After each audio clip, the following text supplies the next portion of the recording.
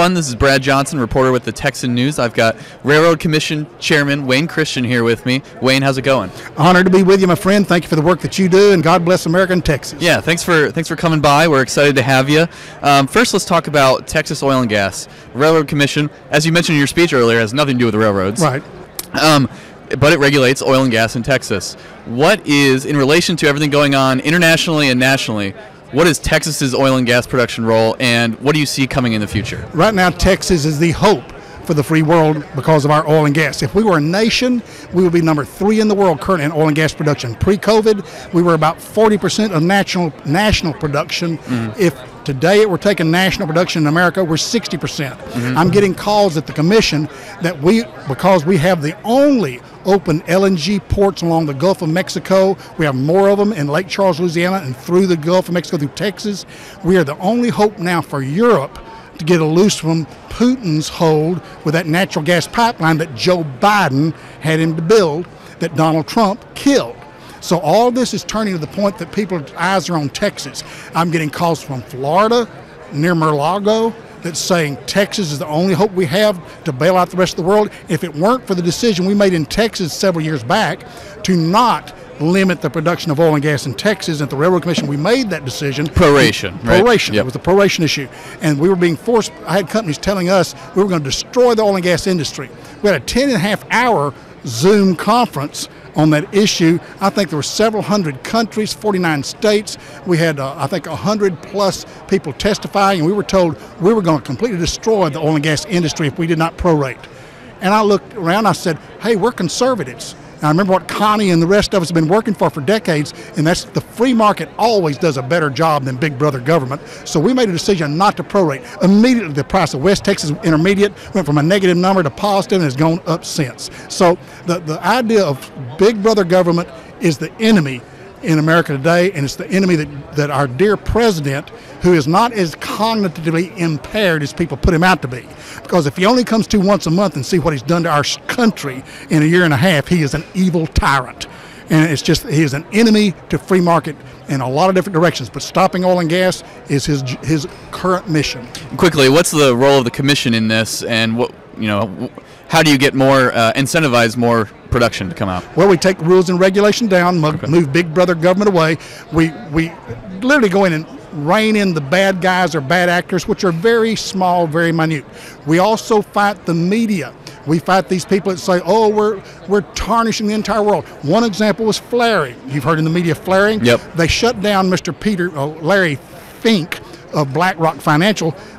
Their efforts at ESG, environmental, social, and governance funds, have closed 90% of the funding from Wall Street the last five years. We're getting only 10% of the money to go in and expand oil and gas. So that shut us down. Biden administration shut down oil and gas production. So I feel our job at the Railroad Commission is get the truth out there. Dirty oil and gas. Do you know the Railroad Commission of Texas this year alone has received four environmental awards? Nationally, uh, state, from our universities. We in Texas, when they go back in this whole Green New Deal, this whole slant on American oil, gas, and coal, fossil fuels is dirty and destroying the environment, is the biggest scam and hoax in the history of the United States of the world. And if you start looking at the science, the last 50 years, ever ever poisonous gas by EPA with the increased doubling of use of machinery, tripling the population over the last 50 years, 77% decrease in ever poisonous gas they have. Let me give you, you were mentioning earlier about, about what we do as the Railroad Commission. Okay, they were saying we were destroying the world, the atmosphere with flaring gases. It was on television everywhere. Wall Street was shutting off funding to Texas. France stopped buying LNG because flaring was destroying the environment. Flaring two and a half years ago, pre COVID, was 2.7% of all natural gas in the state of Texas being produced was being flared. It reduced during COVID to 1.8% just because of lack of use. Mm-hmm. Then, after the storm, January of last year, Flaring in Texas as a percentage of all the oil and gas produced was seven tenths of 1%. Mid years, half a percent. Currently, less than two tenths of 1% of natural gas is being flared. Yet the scam of the greenies, the lies of the media, the eyes of all these organizations are saying flaring is destroying the atmosphere and they've shut down again 90% of dollars. So that's how we're being beat up, is by these financial corps and this lie of the Green New Deal. Last one for you, real quick. You got a race in November against Democrat Luke Warford uh, in 2020. Uh, Michael Bloomberg put in 2.7 million dollars to that Democrat's race uh, and failed. What's in store for November for you? I, I hope that we win, but uh, there's only two ways you run a race: that's scared or unopposed, and I am currently opposed.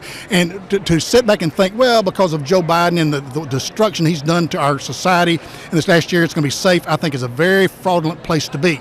Right now, you mentioned Bloomberg put in 2.7 million in the last railroad commission race. They now have organized what they call this dark money organization.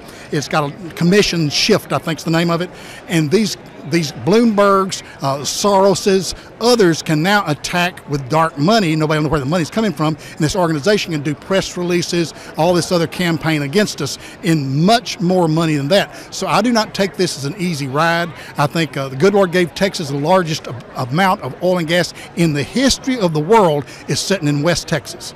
And we are stewards of that. And we have got to make sure and make people understand we are the cleanest industrial environment on planet Earth. And in this campaign, my job is to stay in a position that I can fight it. I'm glad that I wrote for the Interstate Oil and Gas Compact Commission, where I was elected the chairman, first vice chair, a couple years ago. I authored 60% of all the resolutions against the Green New Deal, ESG, and other things. I want to keep fighting. And so that's where I need people's help, and I think Texas need to remain Texas. Well, in Texas, this is one of the most important races. Um, it'll be interesting to see how it shakes out. Chairman, thank you for joining us today, and good luck the rest of the way. Honored to be here. Thank you for the Thank work you, sir. do. Appreciate it.